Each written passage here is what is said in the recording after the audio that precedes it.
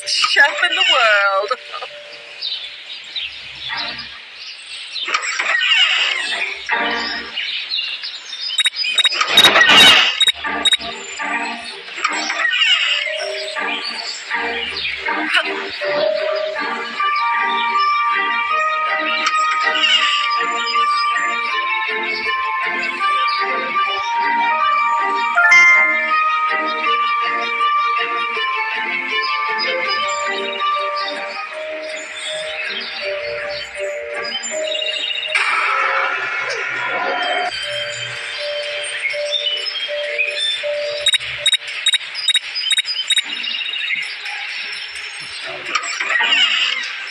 I will punish you, you little rascal!